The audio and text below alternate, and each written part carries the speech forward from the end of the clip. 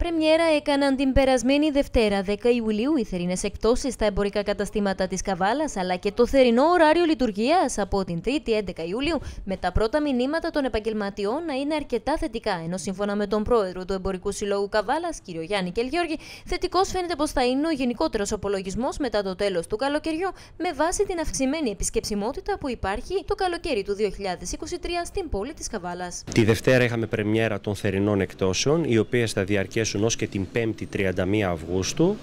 Από Τρίτη είχαμε και την αλλαγή του απογευματινού ωραρίου.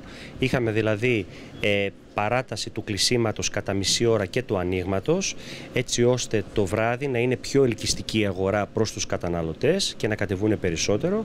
Ε, θεωρούμε ότι οι πρώτες δύο-τρεις μέρες κύλησαν καλά για την αγορά της Καβάλας. Αυτά τα μήνυματα έρχονται τουλάχιστον σε εμάς. Ε, τώρα τις επόμενες μέρες έχουμε να αντιμετωπίσουμε τον καύσωνα, αυτόν τον πολυδιαφημιζόμενο καύσωνα που από ό,τι δείχνει δεν θα επηρεάσει την πόλη μας λόγω της ε, θάλασσας που έχουμε σε σχέση με άλλες περιοχές υπηρετικές. Ε, Θεωρούμε όμως ότι θα κινηθεί καλά η εκτοτική περίοδος και όπως λέμε εμείς οι έμποροι, ταμείο θα κάνουμε στο τέλος.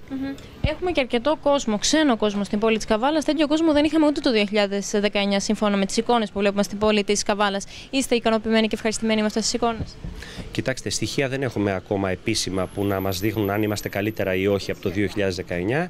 Σημασία έχει ότι βλέπουμε κόσμο. Ούτως ή άλλως ο Ιούλιος και ο Αύγουστος είναι δύο μήνες οι οποίοι είναι η αιχμή του δόρατος της τουριστικής κίνησης της περιοχής μας.